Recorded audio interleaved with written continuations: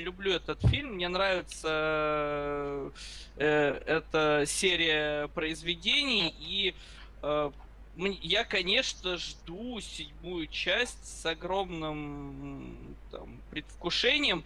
Но вот трейлер, честно говоря, трейлер Звездных войн мне не понравился абсолютно.